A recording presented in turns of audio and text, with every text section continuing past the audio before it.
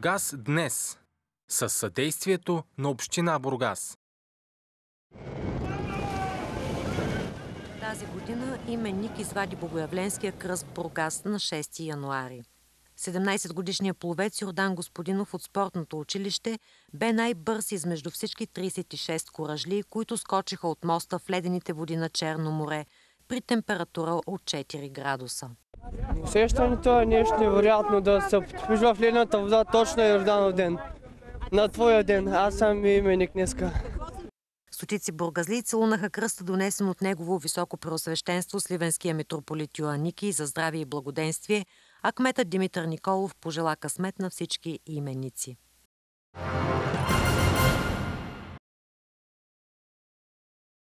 С атрактивни спортни демонстрации беше открит многофункционалният спортен комплекс на Бургаската природо-математическа гимназия и средното училище за изучаване на романски езици.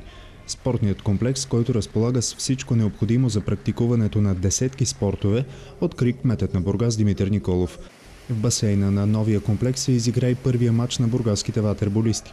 Димитър Николов разгледа лично всяка една от залите и пожела повече купи и медали, които да бъдат събрани в специално обособения кът. Най-главното за община Бургас е да не спира. Да не спира да изгражда модерна спортна база за децата.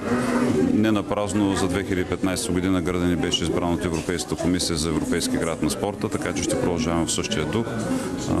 Спортният комплекс ще работи непрекъснато, включително и в съботите и в неделите и е отворен за всички деца. На първия етаж на спортния комплекс е изграден басейн. Бургаските спортни клубове ще разполагат и с зали за волейбол, баскетбол, колективни спортове, зала за борба, спортни танци и фитнес. До сградата са построени и медицински кабинети и допълнителни помещения за учителите. Тази сграда, този комплекс беше крайно наложителен и за нашето училище. Мисля, че ще бъде много полезен за целия град, за децата от целия Бургас. Спортната зала е предоставена за управление на общинското предприятие спортни имоти. Оттам ще трябва да се грижат за това учениците от всички училища в Бургас да могат да се възползват от най-голямото спортно съоръжение в града и да провеждат състезания от спортния календар. Причината – двете гимназии, в чието двор се намира залата, не могат да издържат финансовата поддръжка, тъй като работят в условия на делегиран бюджет, в който подобен разход не е включен.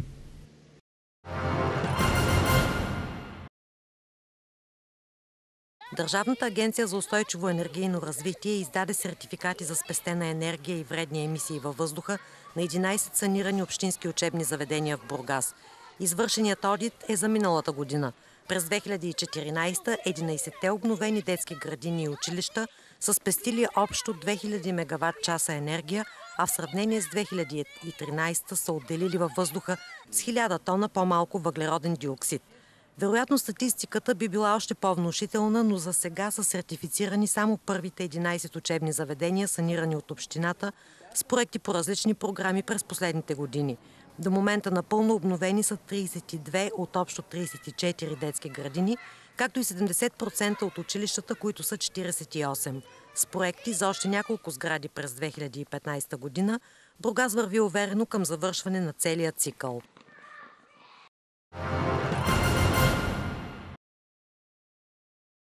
И тази година Община Бургас предоставя на своите жители безплатна услуга за извозване на отпадъците след домашен ремонт. Началото беше поставено миналата година, като услугата въжеше само за основните градски територии. Сега има готовност да бъдат обхванати всички квартали на Бургас. През 2014 са извозени над 50 000 чувала с отпадъци по сигнали на граждани. До сега са обслужени 2300 поръчки и са извозени над 6000 кубика строителни материали, стари мебели, дограми и стъкла. Благодаря на хората за проявената съвест и нека заедно продължим да създаваме новия облик на Бургас като чист и уреден европейски град, заяви кметът Димитър Николов.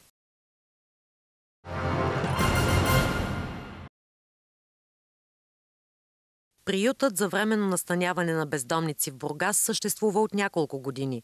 Първоначално той е функционирал само през зимата, но вече работи целогодишно. В момента дава подслон на 20 души, а капацитетът му е за 30. Всеки от настанените има различна съдба и социален статус. Сред тях има хора, които са останали без дом не заради пороци, а защото са станали жертви на имотни измами. Някои пък са загубили жилищата си заради семейни спорове. По-голямата част от настанените в приюта са със средно образование, има и двама вишисти. Част от бездомните имат желание да започнат работа, но често са отхвърлени на пазара на труда. Затова надеждите им са насочени към общината. Кметът Димитър Николов пое ангажимент хората, които имат необходимите квалификации, да бъдат наемани в общинските фирми. Ръководството на приюта е предоставило в общината списъци на желаящите да започнат работа. При нужда от персонал те могат да бъдат наемани.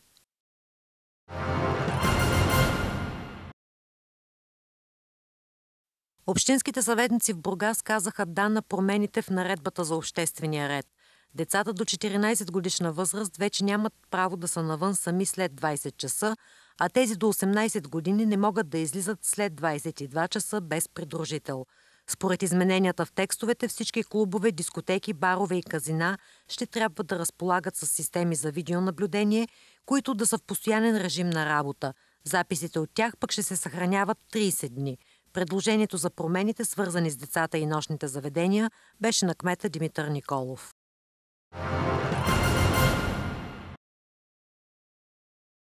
Общинските съветници решиха община Бургас да тегли заем от над 15 милиона лева, за да довърши започнатите проекти, финансирани от Европейския съюз през изтеклия програмен период. Предложението беше на заместник кмета по финансовите въпроси Красимир Стойчев. Тази година е ключова за финализирането на най-мащабните инвестиционни проекти на Бургас – те са интегриран градски транспорт на Бургас, изграждане на регионална система за управление на отпадъците в региона, интегриран проект за подобряване и развитие на инфраструктурата за питейни и отпадъчни води в квартал Ветрен Банево Минерални бани, интегриран проект за управление на питейните и отпадъчни води в квартал Горно Езерово. Според заместник Мета, предвид края на програмния период 2007-2013 година, са необходими спешни мерки за създаване на условия за максимално и успешно финализиране на проектите в процеса на изпълнение. Заемът, който ще тегли местната администрация, ще играе ролята на оборотен капитал за финални разплащания по допустимите и недопустимите плащания, заложени в бюджета на община Бурга за 2015 година. Той ще е краткосрочен и безлихвен.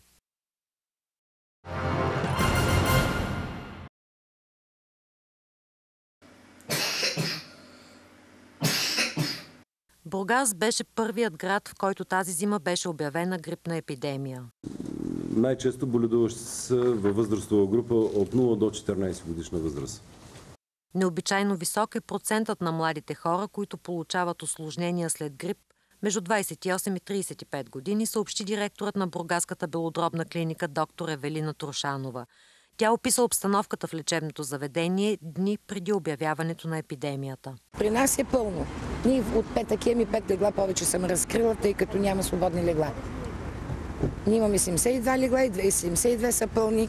Още в петък слагахме по едно, където имахме възможност, пет легла повече сме разкрили. Кметът на Бургас Димитър Николов призова търговците на противогрипни лекарства да не вдигат спекулативно цените им заради обявената епидемия. Повод за това бяха сигнали на граждани, които установили, че изписаните от личните им лекари лекарства против грип се продават в някои аптеки на завишени цени. Всички детски градини функционират с висока степен на филтър и абсолютно забрана на достъп за външни лица, с ново адаптирано меню. Масовите събития в, на територията на общината се отменят, особено тези, които, в които участват и деца. Спортни събития, културни събития. Кметът и областният управител Вълчо Чулаков решиха да поискат съдействие от Министерството на здравеопазването за доставяне в Бургас на противогрипни лекарства, които да се раздават в болниците и на работещите в обществените институции. Седмица след обявяването на грипна епидемия в Бургас, там беше регистриран и случай на птичи грип. Вирусът беше открит в мъртъв кадроглав пеликан в защитената местност Пода.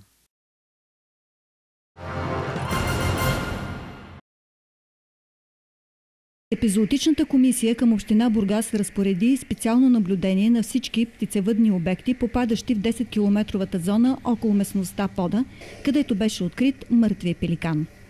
Предупредени са всички стопани в околните на Бургас селища и квартали да не допускат домашните си птици извън доровете, за да се избегне контакт с диви птици. Това е един от най-опасните щамове H5N1, но за сега не искаме да всяваме паника сред населението. Надявам се, че това е епизодичен инцидент, а не е огнищена зараза. Имаме една биоферма, която се намира в Горна Езор. Вече стопаните са предупредени и те са взели мерки за да се предпазят животните. Междувременно се появи информация, че двама мъже са яли мъртви гъски, които са намерили край езеро Това и се намират в Бургаската болница в тежко състояние. От здравното заведение уточниха, че пациентите нямат симптоми на птичи грип. Бургаските езера зимуват между 100 и 150 пеликана, съобщиха от Българското дружество за защита на птиците. Това е първият случай на умряла от птичи грип птица и не може да се говори за огнище на птичи грип, твърдят орнитолозите единичен случай. В Бургас в момента, в района на Бургас има а, над 100 хиляди водолюбиви птици, които а, това е много, много малък процент от тях, всъщност е този единичен случай. А, хората могат да предприемат а, мерки, като просто повишат а, частотата на измиването на ръцете си. Сапуна е достатъчен да убие вируса, ако е попаднал. Тъй като заболяването е установено при дива птица, от Агенцията по горите издадоха заповед, с която ловът на пернат дивеч беше забранен.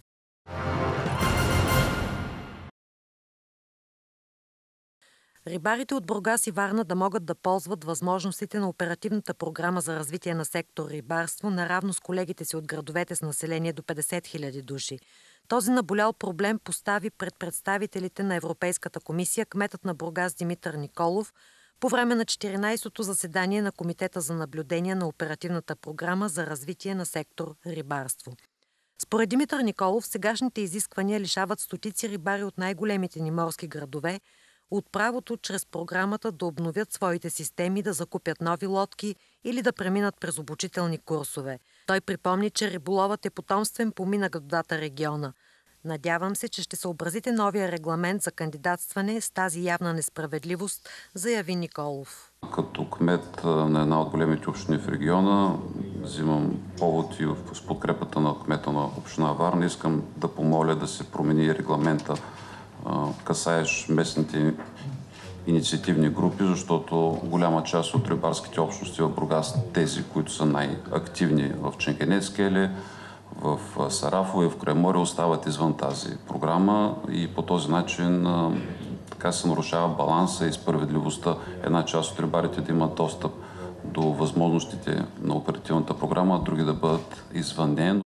Въпросът за условията, които ограничават рибарските общности от големите населени места да ползват еврофинансиране, е поставен многократно от бургаския кмет.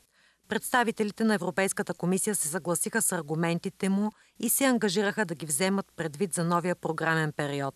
До момента, благодарение на оперативната програма за развитие на сектор рибарство и в подкрепа на местната рибарска общност, Община Бургас успя да реализира амбициозния проект за изграждане на нов рибарски порт в Сарафово – по време на заседанието стана ясно, че след дни започва изплащането на субсидиите на земеделците по директните плащания на площ.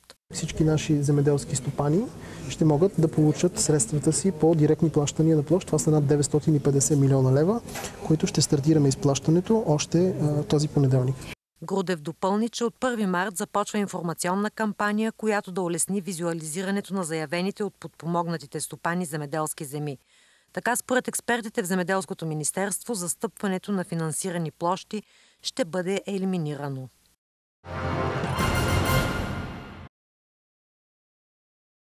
Министърът на економиката Божидар Лукарски и кметът на Бургас Димитър Николов ще обединят усилията си за привличане на инвестиции в региона – това стана ясно по време на посещение на министър Лукарски в Бургас, на което беше представен напредъкът по изграждане на индустриално-логистичния парк, стопанисван съвместно от община и държава.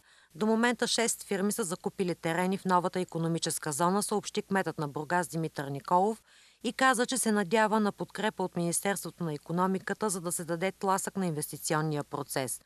Индустриално-логистичният парк е разположен в северната промишлена зона на града – той е директно свързан с пристанището чрез ЖП линия, а пътен възел Запад ще го свърже пряко и с автомагистрала Тракия. В индустриалния парк има 50 имота с размери от 2 до 40 декара, които се предлагат на изключително ниски цени. Сериозните инвеститори могат да разчитат на пълно съдействие от Община Бургас, която предлага всички възможни административни облегчения. Общата площ на зоната е 238 декара. До момента е завършен първият етап по изграждане на вътрешната инфраструктура. До края на годината ще приключи и вторият етап, който обхваща проектиране и изграждане на оптика и ел инсталации, както и улична мрежа. Фирмите, които вече изграждат своите производствени бази в зоната, планират инвестиции, чието общ размер надхвърля 10 милиона евро. Очаква се да се разкрият над 350 работни места. Идеята е да използваме ресурса на държавата, не само финансовия, но и административен, логистичен, присъствието на всички, във всички търговски мисии в европейските държави и другите държави извън България, за да презентираме положителните качества и причините, поради които се струва и заслужава да се инвестира в нашия регион. Министр Лукарски се ангажира да лобира за Бургас в международен план. Той съобщи, че има интерес към града от голяма белгийска компания, както и от пакистански инвеститори, които искат да са посредници в търговията между Източен Китай и Европейския съюз. Министърът призова да се положат съвместни усилия за разкриване инвестиционния потенциал на Бургас, тъй като градът има добри дадености с излаза си на море. Има доста заявен интерес от срещите ми с различни посланници и от Европейския и особено извън Европейския съюз. Има интерес към Бургас като геополитически и стратегически център за развитие на и на индустрия, и на логистика, и на всякакъв вид инвестиционна дейност. По-късно министър Лукарски откри инсталация Газова сяра 4, която е първият технологичен обект от новия комплекс за дълбочинна преработка на нефта в Лукойл. Новия проект ще доведе не само до повишаване на качеството и ефективността на производството, но ще бъдат покрити и най-високите екологични стандарти.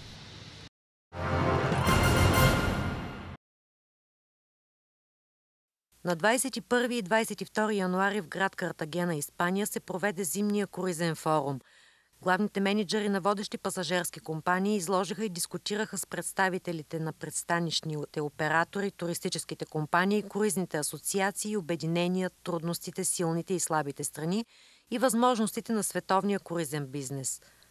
Беше отчетено трайното нарастване и разширяване на обхвата и обема на круизния пасажирски туризъм. Специално за страните от Западна Европа годишно средното нарастване на пасажирите е 5%, като е достигната внушителната цифра – от 6 милиона 357 хиляди круизни туристи за 2014 година.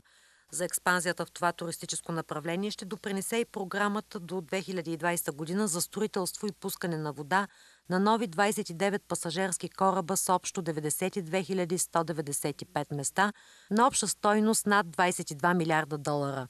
На форума присъства изпълнителният директор на пристанище Бургас Диан Димов – Стана ясно, че портът има ясна стратегия за развитието на пасажерското обслужване. В тази динамична световна среда от изключителна важност и значение за морска гара Бургас е да извоюва своето достойно присъствие. Затова представителите на пристанище Бургас проведоха редица индивидуални работни срещи с ръководителите на компаниите в рамките на форума. Докато мощните американски компании към момента отчитат определени рискове и заплахи за своите туристи предвид ситуацията в Украина – то тези, които оперират основно на европейския средиземноморски пазар, възприеха с интерес и разбиране предложената от бургаските представители нова стратегия за коризната дестинация Бургас. Същата се базира на определено малкото морско отстояние от хъб порта Истанбул и възможността в рамките на 24 часа да бъде посетено още едно море и още три изключителни града – Бургас, Созопол и Несебър, част от световното историческо наследство под егидата на ЮНЕСКО – Оперативни менеджери отправиха конкретни предложения към пристанище Бургас. Те са основно в две насоки – подобряване на терминалната инфраструктура с цел максимално качествено и бързо обслужване на големия брой пасажери от един кораб и ценови нива, които да дават възможност при съпоставимост с конкурентни портове да бъде избран този в Бургас. Тези две основни задачи ще бъдат част от приоритетите за държавния оператор през настоящата и следващата година.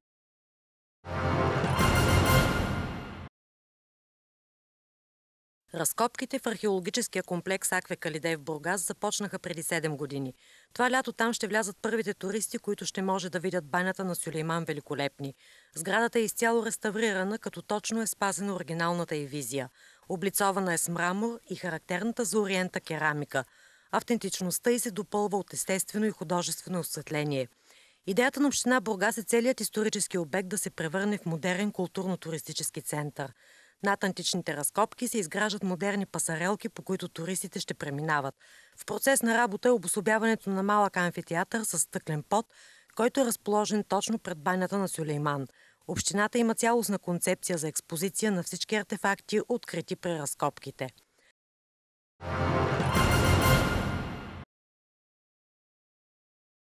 През тази година е отчетен спад с близо 21 000 туристи от Русия и с 56 000 от Украина.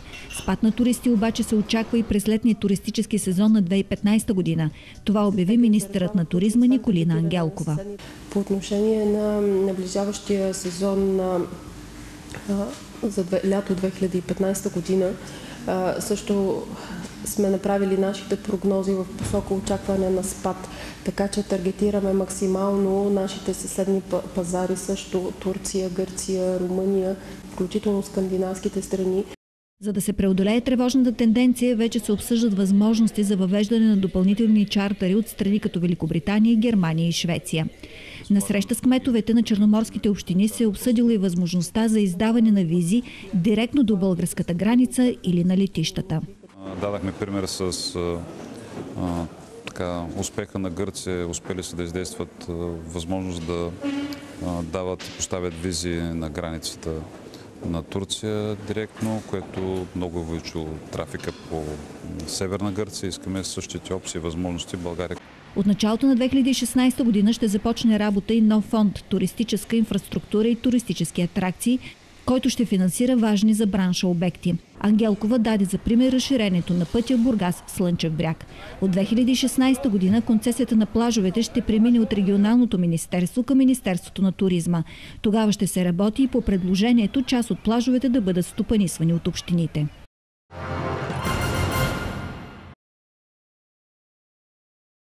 Процедурите по първите концесии за най-атрактивните и посещавани от туристи плажове ще стартират още следващия месец, за да са готови ивиците до старта на летния сезон, съобщи министър Лиляна Павлова.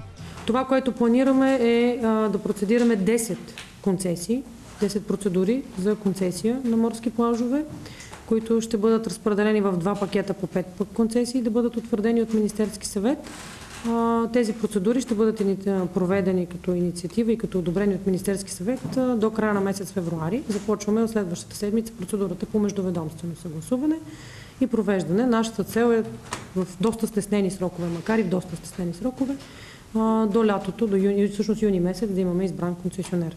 Ако концесията обаче се провали по някаква причина, регионалното министерство има готовност за отдаване на плажовете под найем за срок от 5 години, тъй като само тогава стопанинът ще има интерес да инвестира в поддръжка на плажната ивица.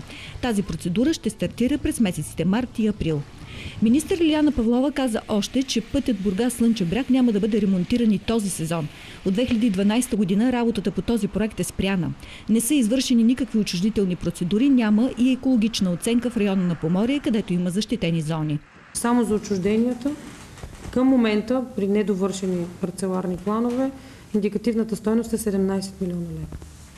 Стоеността на изграждане на цялото направление е 87 милиона лева извън самите отчуждения.